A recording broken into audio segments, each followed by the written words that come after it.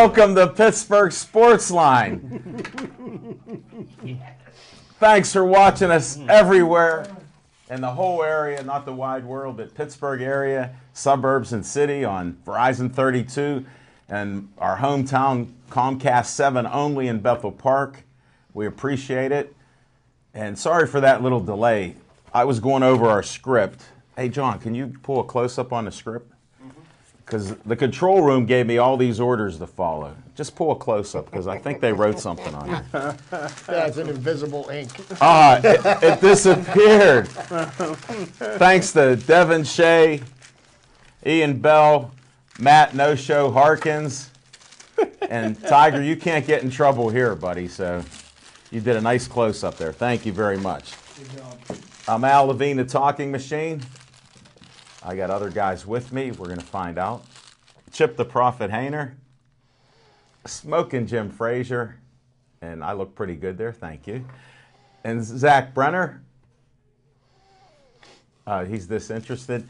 Thanks for all the likes on Pittsburgh Sports Line on Facebook. We hit Jim Aj. We hit the highest level we've ever been at, 4,148. So thanks everybody for liking us. Appreciate it. I just want to do a promotion of a guy who was on our show.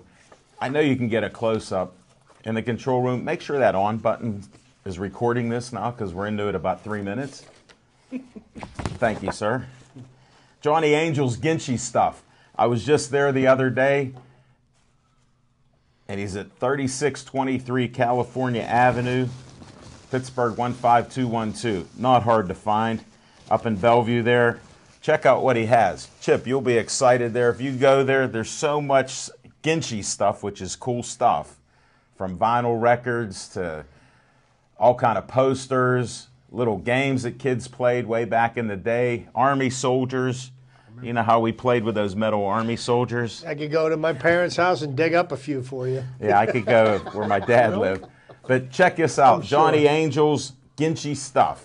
I'm sure. Definitely. And then Matchbox cars.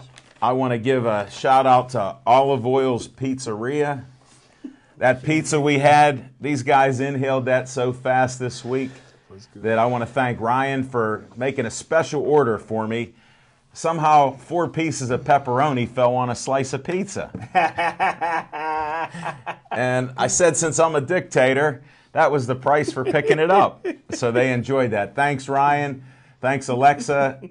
And thanks, Taylor, there. Appreciate it. Call them up right now. Get your pizza. They got specials and everything else. 412 831 1900. Thanks for letting me hold that up, John, when I didn't need to. We're rolling on all cylinders tonight.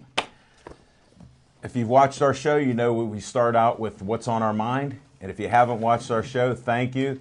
And I got to do a special shout out to one of our biggest fans and a friend of mine for so long I can't even say it. He's eating his dinner. He's probably on dessert right now. But I ran into Chief. Chief! Oh man, I Chief, missed Brother. So Chief was there. He was in line. I snuck up on him.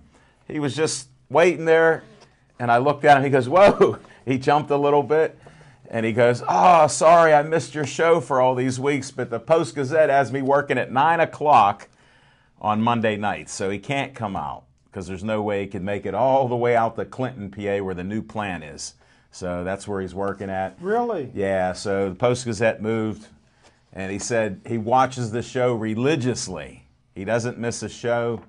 He said, I can't wait to hear Chip talking baseball. And he had this book, like a Bible of baseball stuff that he's been getting for 25 years at least. I said, Chief, we used to talk about that around the machines. He goes, Well, I'll be listening tonight. And then Zach Brenner, one of your peeps from your neighborhood, Renee, was there.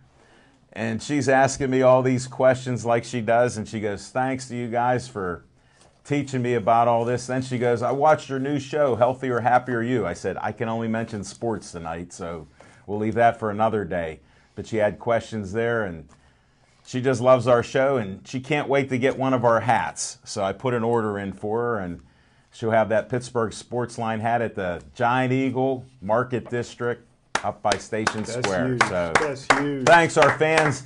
then some of my Keystone Oaks friends that I've run into, and you know who you are, Debbie and the rest of you guys that are watching the show with your mom and dad. We had a lot of great memories. You keep watching, and I'm not a celebrity, as you said, yet. So no celebrity status here. Thanks, guys. Appreciate it. We're going to start with what's on our mind. Zach Brenner, what's on your mind? Well, Al Levine, the talking machine. There's a lot on my mind, but I'm gonna narrow it down tonight, just for you, sir, just in your honor. What's really on my mind, as my as my hat uh, foretells, is uh, Pitt. Last night, uh, Sam Clancy, shout out to Sam Clancy, Hall of Fame Pitt Panther, came out to the show last night down at Atria's to uh, send us off at our last show, but we'll talk more about that later. But me and Sam Clancy had a little bit of a conversation while uh, Smoking Jim was taking all of his pictures that he usually does, and uh, I, I get blinded from all the flashes. You know his camera didn't work, just so you know. Late breaking news. None of the photos Oh, he well, took. thanks, Devin Shea, for using your phone to take the pictures. There you go. Night Just wanted to put the sure, and he did hit the on button, so you're getting recorded. But that's a whole other story for a whole other time. But me and Sam Clancy were having a little talk, and he said, "Zach, what do you? What, what's your opinion on uh, the stance of, of the Pitt Hoops program?" And I said, "Sam Clancy, what do you care about what my opinion is on the Pitt Hoops program?" He's like, "No, no, no, I'm serious. I, you know, I, he's, Al Levine said that you're a huge Pitt fan." I said, "Well, I'm gonna tell you what, Sam. 282 pounds. This is my feeling on the Pitt Hoops program right now. I love Jamie Dixon to death. We know we're going to get probably 20 wins a season, and we're probably going to play a bunch of cupcakes on the way to doing it too, sir. But to be honest with you, what I really think about Pitt Hoops is right now is that we lack depth on the interior. We're weak. We're, we're so little inside that it's almost embarrassing, and that's kind of the opposite of what Jamie Dixon's teams have been predicated on. He's always had decent guard play, but for the most part, down in the interior, we always had a big man. So this is one of the first seasons since uh, Talib Zanna graduated that we haven't had a big man to use down in the middle, and it's kind of hurting us this year. But to uh, to make a long story short, Sam Clancy was blown away with my answer. I was blown away with his response. I want to thank him and everybody for coming out last night, and that's what's on my mind. And predicated is not in the old version of this, just so you know. Whoop, it's upside down. But that was a very good opening. One of your best that I can recall. Smoking Jim Frazier, what's on your mind? Thanks, Al Levine, the talking machine. And if you want the green, you got to see Levine. And uh, uh, what's on my mind, uh, real quick, is uh, listen, the best defense is sometimes a great offense. And the Pittsburgh Steelers are loaded on offense, and um, they do a great job at selecting uh, wide receivers and um, and getting rid of big, big getting rid of receivers before they start making big money. In uh, 2015, Markus Wheaton will be entering his final year of his current contract. So maybe it's time to draft and groom his replacement. So my spotlight player of the week is a fourth or fifth round pick. The man's name is uh, Donatello. How do you spell that? Can't even pronounce his name. Donatello. Oh, I thought it was Don't Donatello. Tell. Luckett. Luckett.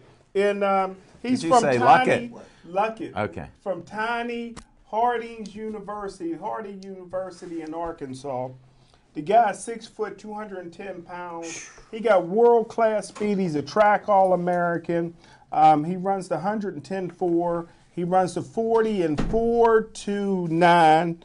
And um, in 2016, next year's 2015, but in 2016, you could be looking at Antonio Brown, Martavis Bryant, and Donatella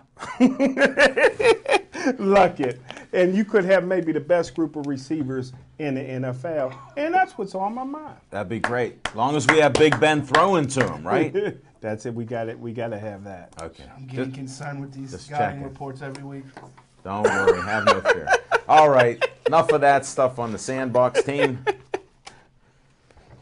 Chip the Prophet Hayner, what's on your mind? Thank you, Alan, and good evening, everybody. What's on my mind, of course, um, you know, one of the main things on my mind is the start of spring training. Pitchers and catchers report tomorrow, and I'm extremely excited for the upcoming baseball season, my favorite eight or nine months out of the year.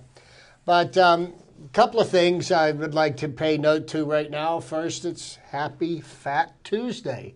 Mardi Gras is in full swing now down Really? in New Orleans, and uh, beads are flying, and so are some other things. But yeah, just Reminds you of your old Houlihan's days. yeah, my old Station hooligans days, you know. the next thing I'd like to pay, um, make note of is I want to wish my wife a happy fifth anniversary.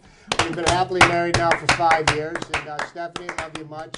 Seems like longer than that, don't it? No, it don't. It God- seems like I've been married for five minutes. God man. bless you, Stephanie. Love you. Yeah, I- Saint Somebody's gotta put Stephanie. I have truly- Saint Stephanie. I have truly been blessed. I will say that much.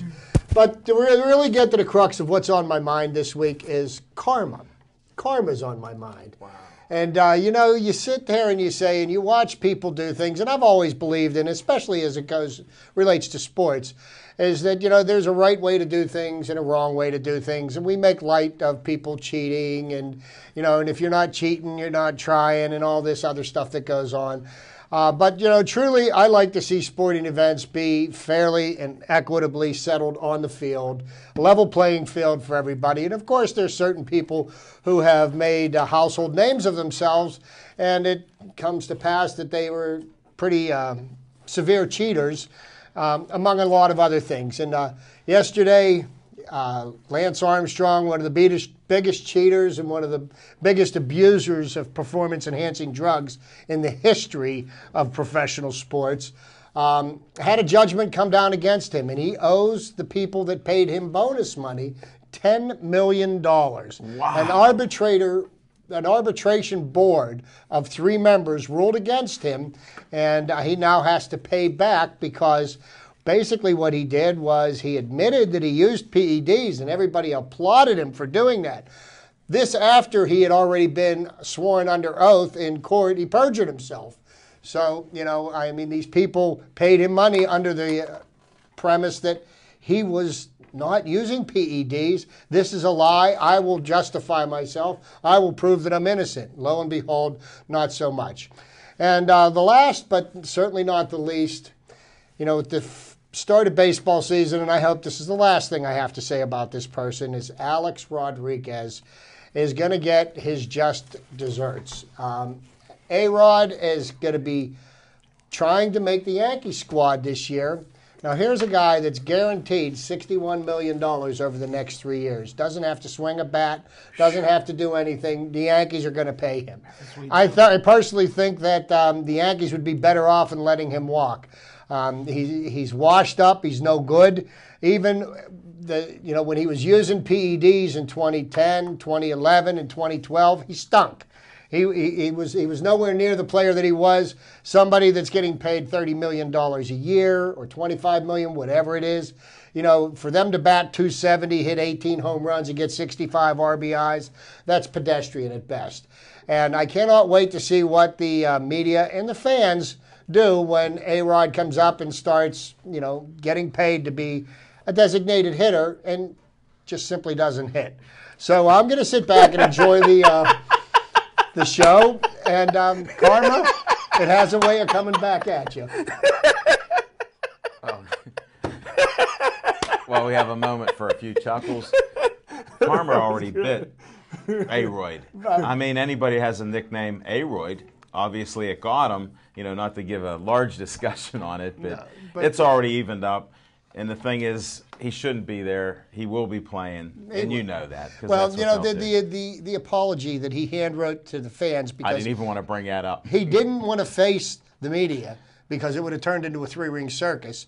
But you know, it just seemed very disingenuous to me. And you know, how can you believe anything that comes out of his mouth? You cannot. Who cares? And Play ball. Next subject. Now, on this end of the table, we seem to have a consistency about cheating. No, I'm not going to bring up NASCAR because my buddy already knows about that. So, what I am going to bring up, because I'm totally against cheating, because it's affecting not only a youth like Zach Brenner, but the youth of America in Little League. Now, we saw out of Chicago, they got caught cheating, egregious cheating. They got people even worse than Smoking Jim and his recruiting at Gateway and everything. They knew the players weren't supposed to be playing. They did get caught. They won the World Series, Little League now I'm talking. They're 12 year old boys, not even young men yet.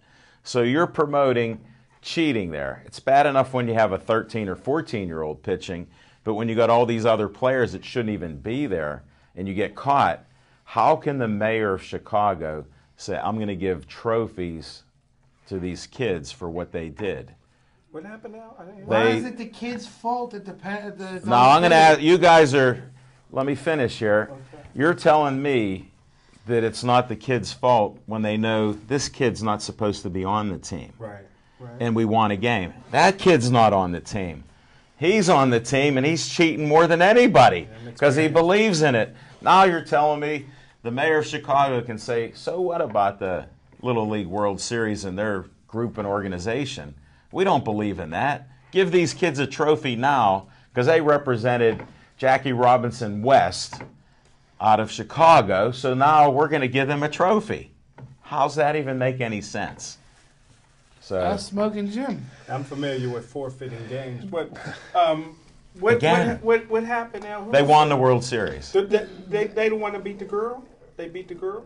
That, that's Yes, Yes. yeah, yes, yes, they are. Wow. Yeah. So, so what happened was the each team is only allowed to draw players from a certain geographic area in the city in which they live. Okay, so what they did was they went outside of the area that they were allowed to have players play in, Okay. and brought in better players so that they could tilt the scales in their favor. So AAU. kill, No. children were playing that were ineligible Okay. to be playing. And they did that, and they happened to win the championship because of it. And notice that I said worse than Gateway because you're allowed to recruit because the parents work there now. They live there. Yeah. So what if the apartment that they supposedly get is owned by the coach of the team? That doesn't matter. No. And, and, and, and if I No, may, if I may Go add ahead. You can't because this is important. On, on a more serious note, and I think you know Al brings up a great point about this and, and what it's doing to the youth of America because you know the adults were the ones that that you know laid the groundwork for all this, and and we all know that twelve year old children are not stupid. Okay, Thank know, you. Look I at mean, him. So this all being said, here is where I find the big problem with it. Look at him. You know, one of the big problems has been with the with, with baseball is that a lot of inner city youths have not been getting involved in baseball, and subsequently, some of the better athletes that could be in the sport of baseball haven't been drawn to play the sport. This team winning the championship like it did was the greatest thing that could have happened to the African American youth because it gives them a reason to, to want to pick up a bat and a ball and play. So now, you know, okay, th- they were caught cheating. And you know what? Rules are the rules. You got to abide by them. What bothers me is that Jesse Jackson crawls out from whatever stone he was underneath and immediately and, and, and, and immediately pulls the race card saying that the only reason why anybody brought this up was because they were black. And I think that's, you know, that's that's ridiculous to even make that statement. I mean, this is pretty much a cut and dried situation. It's simple, actually, because they got caught. They're guilty. The rules state the rules are explicitly clear. The rules are clear. that you the have worst to part about it, though, that we're not talking about is there's a team out in Las Vegas, Nevada, that had some real talented kids that were in the right geographical area, Mm-hmm. did it all the right ways. Should have won, you know, against not, you know, hypothetically they should have beat Jackie Robinson, the All Star team. They almost won that Yeah, game, yeah. and uh, now they get awarded trophies that you know that now they feel a certain kind of way. If they're in Las Vegas, they was cheating too, or at least betting on it. They were at least living. you know, I mean, but Not this- legally. Not legally. Friendly bets like we do. But seriously, that shows how complex it gets after a, a, uh, entity rules that it's illegal. I mean, a mayor's stepping in. What kind of message does it send though when you know that Alex Rodriguez has admitted to using it, got juiced up stats on juice, and you still let the guy show up and play anyways? Like, what kind of integrity does that work? Because of the does that league have? CBA. He joke. served his time. Baseball's He one of the biggest jokes. We can't help it, Bud Selig's like that. He's gone now. May he rest in Zach, peace. be very honest with you. He's not no dead. More or less of a I joke mean, than on baseball, he's sport. dead. You know, He's the same the- things that go on in baseball go on in every professional sport, and I would like to see more of a level playing field. Um, you know, and, and games to be just you know decide the outcome on the field instead of all the other stuff. That's what I want to see. Yeah, and that, that's why I brought it up tonight because it means a lot to me. One eighth. I didn't even hear it. One eighth. We'll talk about under Z time. I hope we get to that on Z time. But all right, we'll go to a couple of our segments. But one more thing before we go to a segment. I talked to Johnny Angel today, and he is now the king of the Mardi Gras. He's right now at the Elks Club, and he's he's the king of the Mardi Gras in Pittsburgh. So he just got another title. So I said, "Have a good time, brother," and you know he's going to have a good time at He's the at the Elks Mardi Club. Gras? Well, in Pittsburgh. They're Where's having that at? one in Pittsburgh. At the Elks Club in Where's the Elks Club? Bellevue, I think. Oh, okay. So yeah, in his hometown there. We got to get there. So he made the he's a king. I got beads. I'm a, I think All I'm- right, Zach. I About saw ten the. miles this side of. I think I'm allowed in Bellevue. Well, I don't know. You drive through it to get to Ambridge, right? I don't know. We better we better get your segment here. Some fiction and fact, and please give us some fact tonight from Smoking Jim's Almanac. Thanks, Al Levine, the talking machine. Listen, uh, last week uh, my good friend Chip and I were talking about, and Chip informed me that Arizona Cardinals promoted their linebacker coach uh, to defensive coordinator, and that uh, started a discussion. Listen, Keith Butler, the Pittsburgh Steelers, would could have been a pretty good head coach, um, but he's going to be a, the worst defensive coordinator in NFL next year. Dick Hoak could have been a good head coach, but he wouldn't have been a good coordinator. A great example would be Mike Ditka. Mike Ditka was a great head coach, Hall of Fame head coach, but he'd have been a horrible coordinator because it'd have been Walter Payton right, Walter Payton left, third down and 20, Walter Payton on the sweep. Coordinators have to ha- be innovators, they have to be organizers and situational experts. And my fiction, in fact, from Smoking Jim's Almanac goes to Russ Grimm. Russ Grimm would have been a great, great, great head coach, but not a very good coordinator. He was part of the Hogs in the 1980s with uh, Jeff Bostic, Mark May, and Joe Jacoby. And uh, Mark May, I mean, Russ Grimm was a great athlete for South uh, Moreland High School. Um, he was a quarterback, linebacker, and a star basketball player. And he told me that he never, ever played the line before in his life. And when he got to Pitt, um, Pitt wanted to move him from linebacker to the offensive line, and he said no, he was going to transfer. And the legendary offensive line coach Joe Moore convinced him to move to the offensive line. Joe Moore told him, he says, "There's nothing on this earth greater than a man being able to move another man against his will." And Russ Grimm to this day says that is so true. There's nothing more satisfactory, more satisfying in his career than doing that. And that's my fiction, in fact, from Smoking Jim's Wow. Almanac. I thought I thought Russ Grimm could have been. That was so head deep. Thank you, man. man. That, that was good stuff, Jim. That's good Oh stuff. man, I'm touched. I didn't know where you were going with And, that. uh, I'm glad to see that some of our banter uh, before and after the show, you know, sparks a little light. Uh, there's always a lot all of sparks. from Chip. It's all Chip. There comes Z. He's coming back. But first, we got to do Chip's trivia time. Well, thank you, Alan. And being that we're right on the uh, cusp of the uh, baseball season, and staying um, with my theme from the last two weeks, with the fact that this month is Black History Month, wanted to touch on a couple of the um, the greatest teams that ever played in the Negro Leagues, and both of them happened to play right here in Pittsburgh. What I'm wearing right now is a replica of the Pittsburgh Crawfords hat. Um, that was a, a trinket that was given out at Pirate Game a couple of years ago. Um, the Pittsburgh Crawfords uh, were a team that played in the Hill District. They were owned by a uh, gentleman named, uh, uh, well, a very nefarious character. Gus Greenlee bought the team. He owned the uh, Crawford Grill, and he had some other kind of under the table businesses. And he happened to create probably one of the greatest um, African American teams in the Negro Leagues of all time. The, the Pittsburgh Crawfords of the mid 1930s um, were second to none. Um, most of the uh, play, well, a fair number of the players on the team ended up in the uh, Major League Baseball Hall of Fame. They won the um, the Negro League World Championship in, I believe, 1935 and 1936. And, um, you know, subsequently, um, by the time they got into the early 1940s, um, is when Gus had decided to sell the team off, and they became the to- Toledo Crawfords, moved out of the uh, city of Pittsburgh. And the other team is the Homestead Grays, and this is, um, you know, Zach Brenner's hometown, but uh, the Homestead Grays actually have a bridge named after them. Used to be the Homestead High Level Bridge. It's now the Homestead Grays Bridge. And um, most of the players that played for the Pittsburgh Crawfords ultimately ended up playing for the Homestead Grays. And the Homestead Grays had probably, um, you know, some of the greatest players that ever played the game. And I did was digging uh, through some um, history of the Baseball Hall of Fame today, and there are 35 players of the 310 players that are in the Major League Baseball Hall of Fame. There's 35 players that um, never played. Well, few of them played Major League Baseball, uh, but they made it to the Major League Baseball Hall of Fame. Ten percent. Pretty close. Pretty Your close. math has Dude, I'll tell so you what, good. that must be a Vulcan over here. but uh, that's a tribute to Jim's alma mater. But um, the, the Homestead Grays ultimately became uh, one of the most uh, renowned teams in the Negro Leagues. They made it to the uh, Negro League uh, World Series uh, five times. They won three and they lost two championships.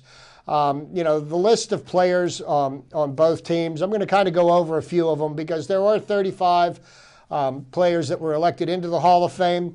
Um, the thing I find ironic is that 17 of the 35 were elected in 2006. But uh, the first uh, player elected into the Major League Baseball Hall of Fame was Satchel Paige, probably the most recognizable player from the Negro Leagues, even more so than Jackie Robinson.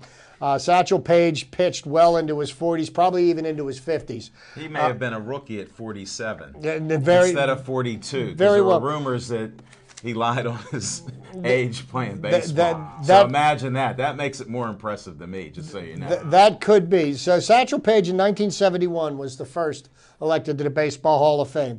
1972, two players made it: Buck Leonard, Josh Gibson. Josh Gibson is known as the um, uh, the the the, the Black. Babe Ruth, and he hit. Um, he had a he had a penchant for hitting home runs, and since they didn't keep very good records of things, they said that it's very possible that he hit at, at, you know 80 home runs in one season, and they feel that he hit over 800 home runs in his career.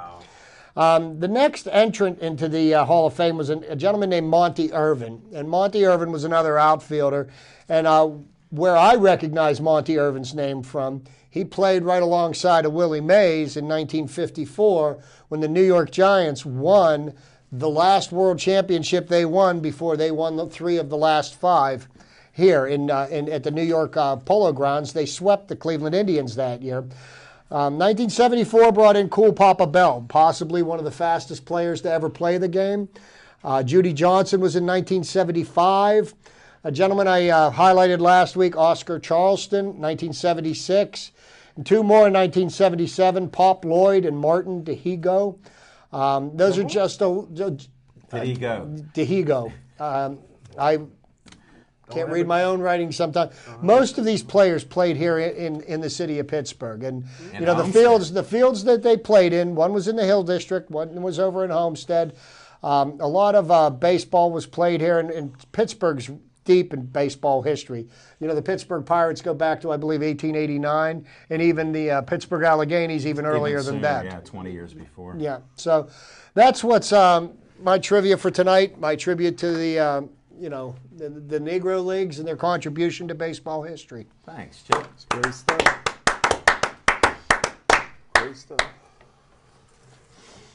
Now we got Z time, and I was hoping he brings up an eighth of an inch on Z time, but I don't think. He's more positive than that. Well, I might. You know, I just want to, since Chip opened the, the door for. You were uh, writing stuff over there. Like, oh, I, but just before he even started, I mean, I, I mean, I take saw for it. granted. I take for granted because I come from a unique area and uh, which deep, has deep roots in the city of Pittsburgh. Mm-hmm. Homestead produced a, a huge quantity of steel that helped fight World War II and probably got us over the hump for the most part. One know, of the steel in the. Industrial Revolution. So There was let's a couple, never, buddy. Let's never forget. Uh, but uh, where the Homestead Grays played is I could literally spit from the street like that I grew up on, you know, where they play, and it's getting a five million dollar overhaul. So I'll, I'll take some pictures and show you guys uh, Update us, what please. it looks like right now and what- it's going to look like. So what it looks like right now is what it's looked like for 30 years of my life. So we'll see what uh, what the five million dollars does. But you know, uh, they maybe it'll still maybe it'll drain better. over uh, over time, you know, every you know 15, 20 years, there'd be you know gatherings and events over at Westfield, and I, and I had the distinction of catching up with some of these old timers that probably definitely lied about their age because some of these guys were super old. They seem like they seem uh, World War One, but uh, Let me tell you, they did. so They played in the 30s and 40s. It's a pretty good chance. like just as a side note, as a side note, we don't know Mar- Mario Tempest how old Smoking Jim is still. We were close last night, and then the water blew up everywhere. That'll be on the location story. it will. it will. But We'll no, you back bring up some great points, and you did write down each time before Chip got to it.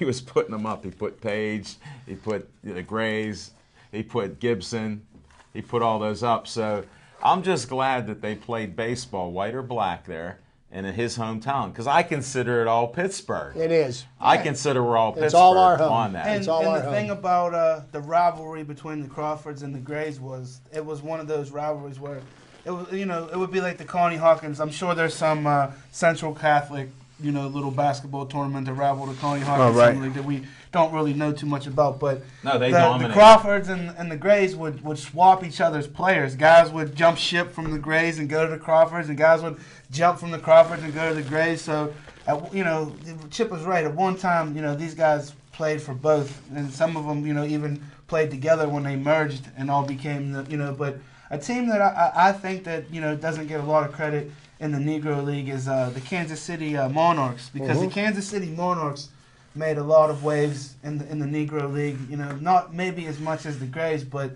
you know, as far as just you know putting it on the map and, and trying to you know get the get the barrier down and bring that you know segregation down. I, I I like to give a shout out to all the Negro teams, all the executives in, in baseball, all the rich, poor, whoever that played their role in getting you know the likes of uh, Jackie Robinson on the field, Branch Rickey, and uh, all these guys, you know. And also, we uh, need to pay recognition to uh, great coach uh, Dean Smith, who passed away for North Carolina. He was uh, instrumental in kind of breaking that barrier in collegiate uh, basketball and bringing, you know, African Americans onto his roster and not really caring about uh, color and being more important about winning, like I am, like I would be all the time. You know, I don't care. I don't care what color you are. You know, I'm here to win, and uh, I give a shout out to Dean Smith. And lastly, uh, keeps up, you know, getting on me about an eighth of an inch. My uh, favorite race car driver, Dale Earnhardt Jr., was disqualified from qualifying because his car was found to be an eighth of an inch too low on the on the front end. So uh, Despicable. hopefully, once I make my way down to Speed Weeks here in the next uh, 48 hours, Where are you going? we'll be we'll be able to straighten this out. I'll be in Daytona And, Beach, and, Florida. and here's breaking news. Zach's bringing a tape measure with him. Hey, it's standard. It's standard issue. It's standard issue. NBC is out Levine. 'cause So he won't be able to run? There's no, No, doubt. he'll be. Here's the thing. He'll be able to run. Explain What- it to us, please. what Yes, they did for the first time ever this year at uh, Daytona Speed Weeks is they've had uh, they had group qualifying. Normally, each car would go off by themselves and, and be timed, and the fastest car would be declared uh, the pool winner for the race. But the qualifying for Daytona is unique in the sense that the the qualifying itself only sets the front row. The first two cars are the only two cars. Then what happens is we go to what's called dual races, where we have we're gonna have two races on Thursday to pretty much set the rest of the field for the race. You know, there's a 42 car field, so 40 cars are gonna make the Daytona 500 on Thursday, which has nothing to do with the qualifying. So there would be 20 other races. There's going to be two races, and it splits Oh. it in half. Twenty cars, twenty. Oh, You know, okay. So there's going to be two uh, like half little races, and that you know, based on where you finish in that is going to set the field. But the qualifying, which Junior failed, really isn't that instrumental because he's going to have a chance on Thursday to to race himself in and maybe As get himself in even better. Yeah, instead of being in tenth, he could be third. You know, so that's what's going to happen this uh, on Thursday. And like I said, I'm leaving on Thursday to make my way down You're to gonna Daytona miss Beach, it. Florida. I'll miss the duels, but I'll be there in time for uh, for all the festivities on Friday, Saturday, and Sunday. So We're looking Look. for those live reports right on Facebook. we'll the get them. Pittsburgh I've been Sports checking the weather, and it looks like it's going to be nice and. Hold uh, it. I. I don't care about that weather. How's it look in Pittsburgh when you're gone? Because now half of the city, and I'm only exaggerating, well, maybe a little bit, they're not going to be able to dig out because I heard cold and snow are coming again. Give me an update when you're gone. It, well, it's rumored that on, on Sunday, my good uh, my good friend Larry uh, Richert, uh, Richert at uh, uh, KDKA has informed me that you know I'm going to be good. Jon Burnett also has told me that I should be good. Um, there might be some snow on Saturday night or something, but Again, hopefully I, I could get back in time for a Tuesday night show next week. So that that's going to be the that's going to be the plan. So we You're not gonna check that. What's that? No, I, I wanted um, Zach made a gave a shout out to Dean Smith. Actually, two of the all-time greats in uh, NCAA basketball coaching died. Tark. This big- Jerry Yeah, Tarkanian, the who was the head coach at uh, UNLV and at Fresno State as well. He had over 750 wins, and Dean Smith had over 860 some. So between the two of them, they probably were responsible for over 14 or 1500 uh, NCAA basketball And wins. and and uh, Tark's a great guy. He came in for Armen uh, Hammer Gilliam's funeral, and um, so that I, I thought that was that was great. Armen died Bethel unexpectedly. Park's local hero that Yeah. died too young. Well, what a perfect uh, what a perfect segue, folks, to, to talk about a little bit of Pitt hoops as we get ready for uh, March Madness. Uh, a lot of people have Pitt not making the tournament. They lost last night convincingly to uh, Virginia after a great home win at the Pete against North Carolina. So it's kind of been an up and down year for Jamie Dixon and those guys over in Oakland. Uh, what do you guys think about Pitt? I like to see him go t- back to the CBI. Well, to be honest with you, the Pitt had won four of its last five games, and last night they could have really um, given a very strong argument for being into the uh, 64 team uh, win, the yeah. tournament win by beating number two Virginia. But you know, Pitt has already beat number eight Notre Dame. North Carolina was Was ranked 12. number 12. Um, you know what they really need to do now that they kind of laid a little bit of an egg last night.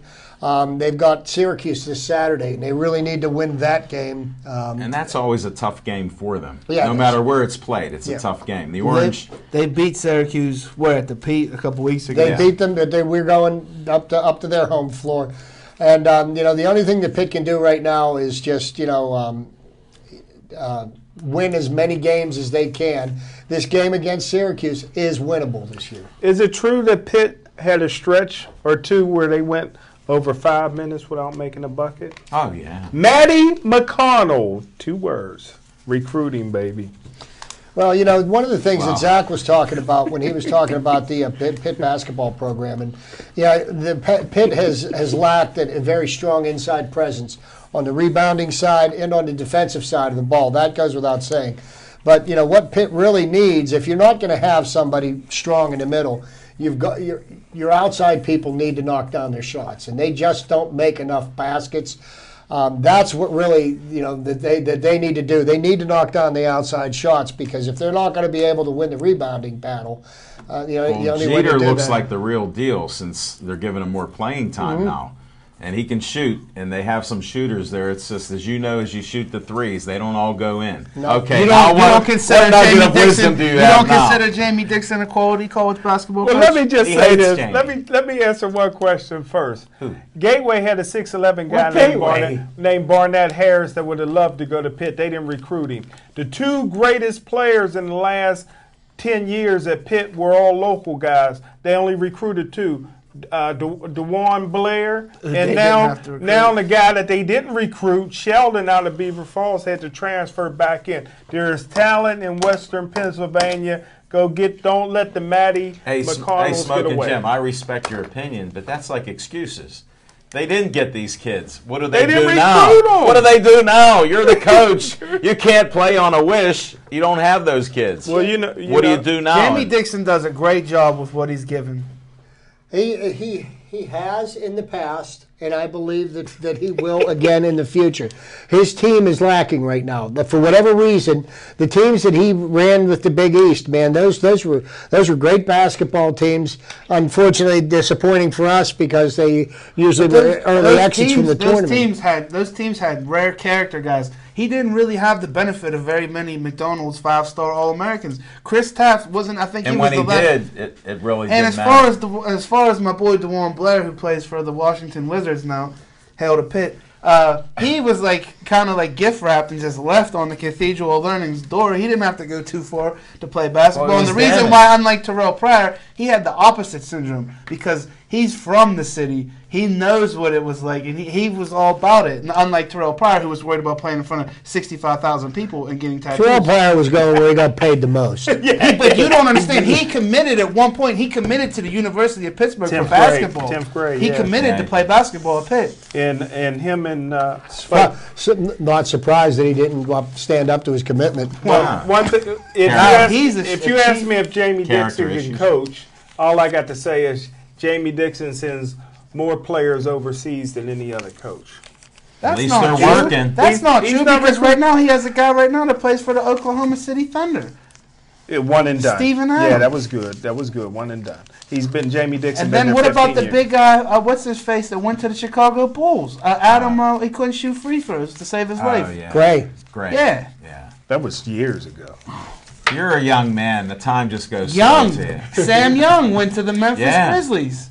Come on, Smoking Jim. Like I said, Jamie Dixon is a What's very he smoking in underrated, that end? What's very he smoking underrated coach. Here's the thing. Wait till the seven footer they have that'll be here next year. You have the inside game and you have a seven footer on the court. That'll help. This year, I think they'll get, I believe they'll get to the tournament. NIT. No. Jim, The you big know, one. and- ACC? and just speak the to your big one. point. Okay, NCAA. Think about how many college basketball teams are there Division One. Say what about 130, 135? I'll take it. Roughly. Okay, roughly. So you're figuring every team's got what, 12 kids on it? Do the math. How many kids come out of college and actually end up playing ball in the NBA? Very few. Okay, they, you know, the the NBA does not. I mean, not every kid that plays college basketball ends up on an NBA roster. You know, most of the most of the kids that play Work at Enterprise Rental Corp. collegiate basketball make their livings doing something other than I playing you're basketball. talking- Princeton. Duke and well, things like- Princeton, they they recruit, they they're, pl- they play good basketball, but those kids don't want to play in the NBA. But what Right, I'm saying because is, Because they don't want to take a cut and pay they're once they running get their Forbes degree. 500 uh, caliber companies, But- and they don't need to. They're play. getting a million but you dollar look job at- out of school. You look at Syracuse, you look at Duke, you look at North Carolina, the Kentucky. Those teams, the NBA is Hey, for some of your with the, for you- some of your fiction and fact, could you find out? I know you're a football guy, but could you find out what the top five college teams have as players going to the NBA? Oh, I sure can. I know you can. I'm trying to good. help you Let's out. put 'em on record. There's be five of them for Kentucky this year. Well, They're we, all- could we understand up, that. We could uh, we could wrap up this pit segment very uh, simply said, as Smoker Jim said, uh, Jamie Dixon needs to do a better job of recruiting here at home. There's there's talent around here that's all I close ask. to home that could help the team and get us over the hump a little bit. Not that we're ever going to win a national championship at basketball, Pitt, but you know we like to be in it. Uh, but right now, switching over from uh, from Pitt, we got the Penguins playing tonight. Wonder what the, the score is in that Capitals. control room. Eight guys are in the control room. Well, yeah, and here's here's the thing with the uh, Capitals tonight. This is the third time we've played the Capitals. This is a team that's in our own division that we need to beat. Again. We've lost to them twice, four to nothing and three to nothing this year. We haven't scored a single goal against them. Well, Their is home tonight. goaltender, their goaltender. If you look at his stats side by side against Marc Andre Fleury's, they are almost mirror copies. They are within one one hundredth of a percentage point. They've got the exact same numbers of wins. One has a save percentage of 9.24, 0.924. The other is 0.923. I mean, they do so many things similarly. Did similarly. you see on uh, on Saturday uh, Patrick Kane take uh, Marc Andre Fleury just out to the woodshed? And He would've taken left him any out there. goalie And that's out what I argue with my brother. You know, I said he Who's would've your made- brother? He would have made anybody uh, look silly. Well, right now, Patrick Kane, you know, I could say right now at this point, tonight, that if you were to ask who the best player in the NHL is, I I think Patrick Kane could put up a good enough argument to say that he's the number one player in the NHL, not Sidney Crosby. Well, the numbers don't lie. No. The liars can lie, but Well, the you know, and, and, you know, and it's hard to judge that right now. Season isn't over, and it's February.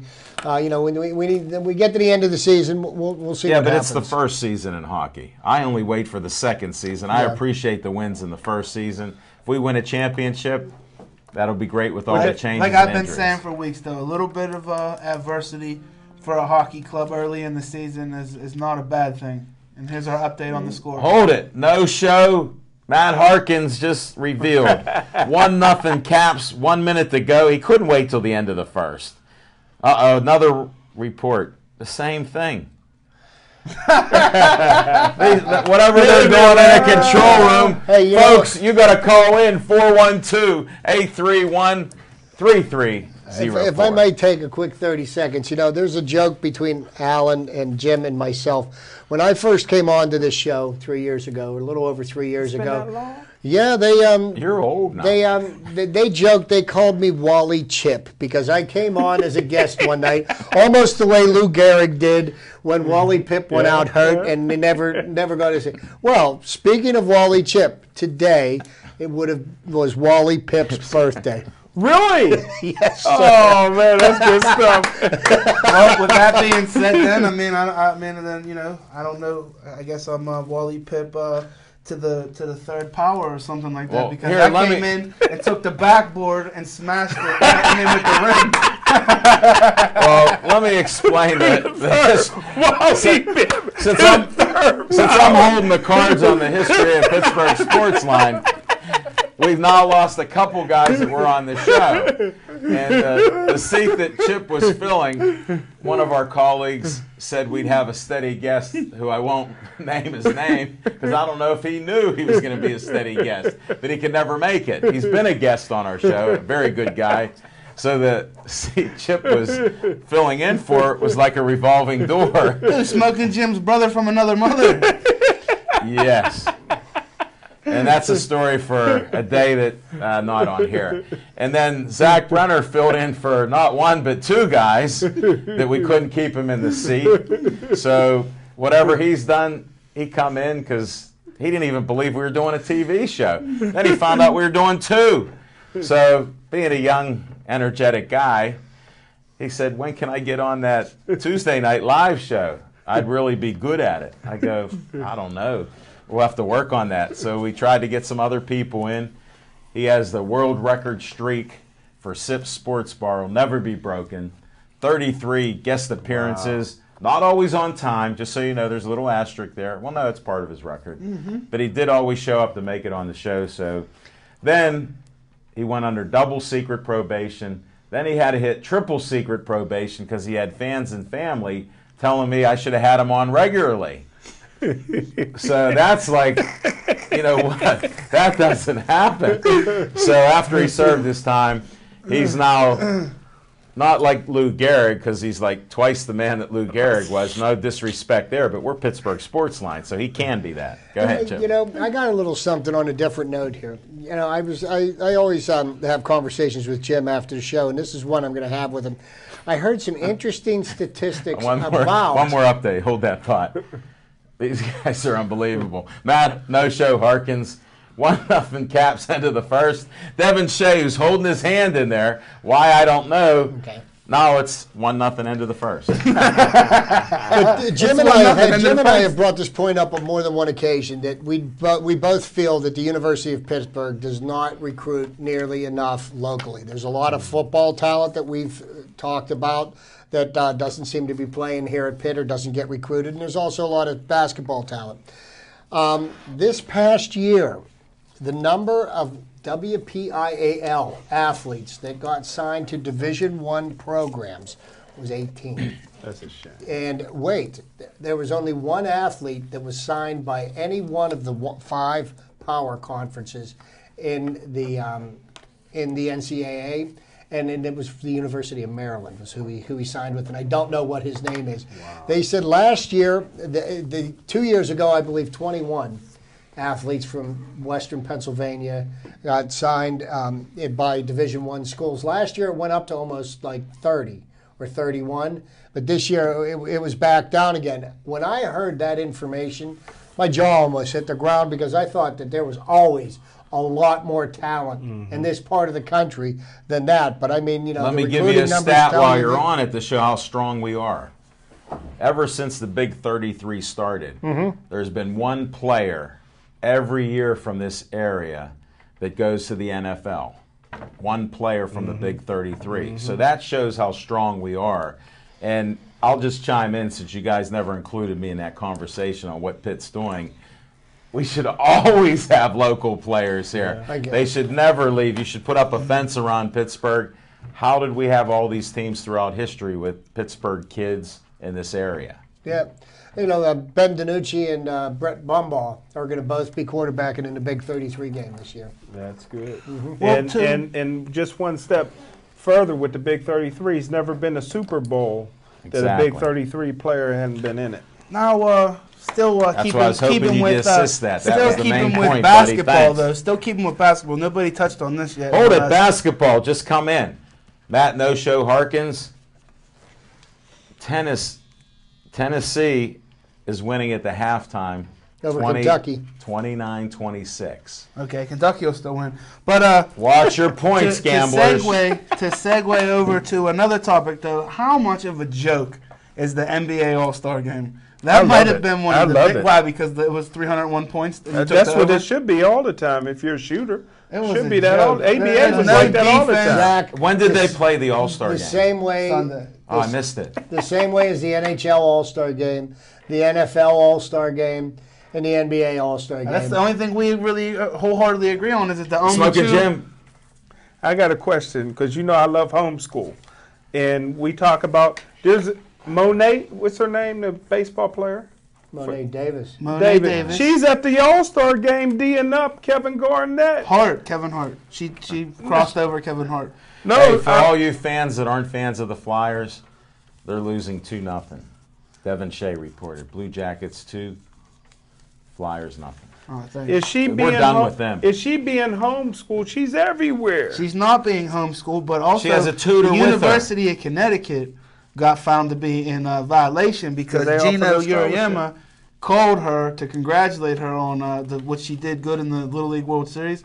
Well, I guess now when you ask her what she wants to do, she wants to go to the University of Connecticut and play point guard in There you basketball. So they say she's you know, good. well, she is good, but you know, I guess Geno got the best job in the world. Geno jumped the gun a We'll little talk bit. about other subjects there, Smoking Jim. Hey, before we end it, I want to at least go on location here.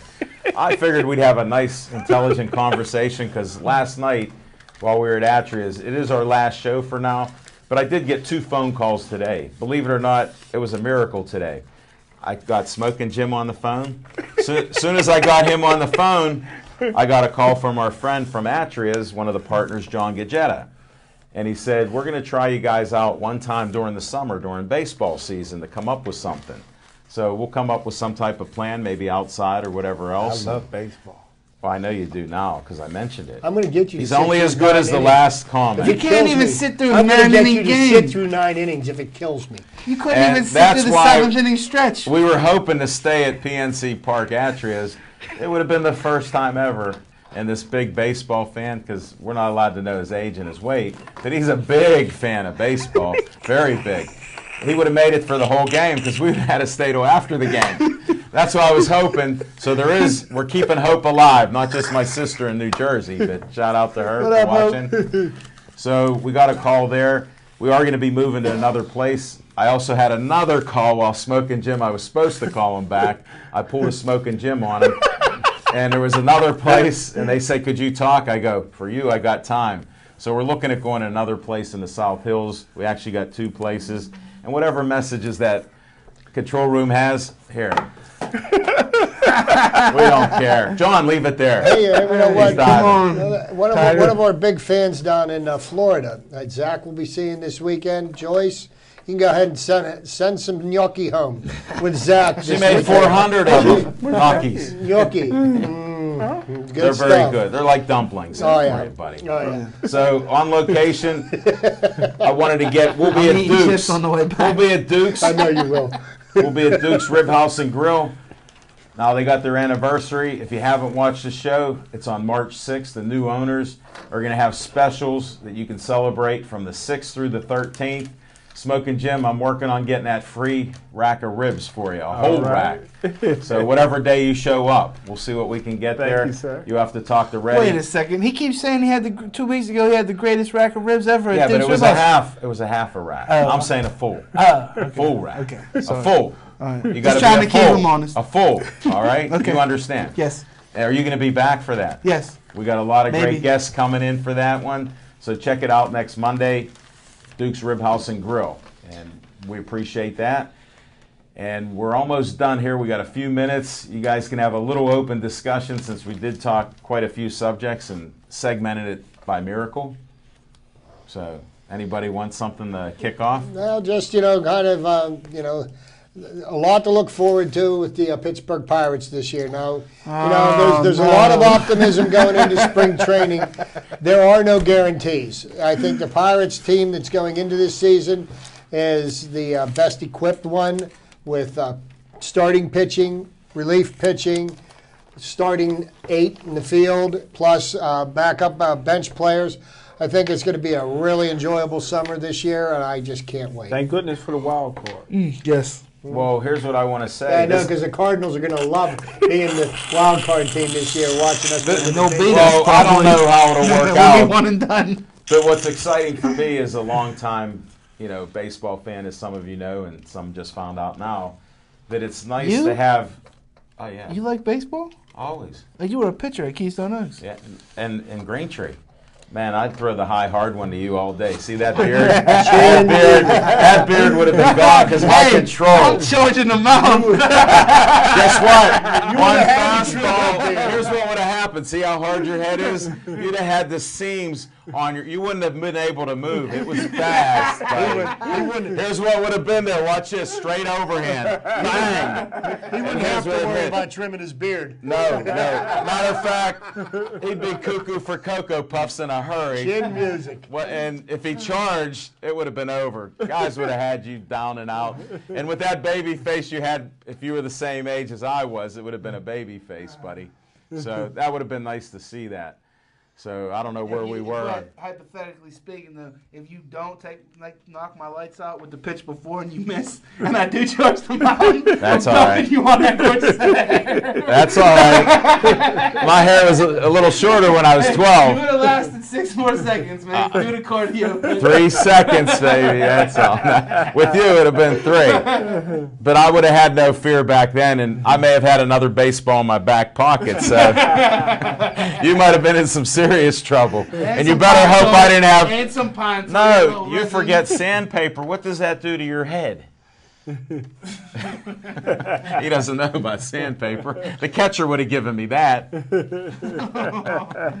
I'm just kidding. That didn't happen back then. We're under a minute, so say goodnight, Zach. Hey, I want to say night, Zach. good night. Uh, there's a good possibility that uh, I might not be on time next Tuesday, but hopefully I'll be uh, having plenty of stories to uh, talk about We from better Daytona, report Florida. on Smoking Jim. What's going on? Every time Zach comes across the um, Homestead Bridge, Right. he has CP time. Okay, Chip, make it real quick. I got to wrap this Three up. words. Let's go, Bucks. Let's go, Pens. Thanks for watching the show. We appreciate it.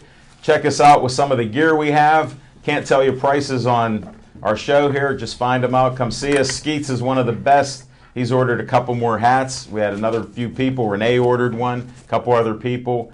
So thanks for watching the show. Be safe out there. It'll be cold again, and Brenner's leaving town. You have to shovel on your own.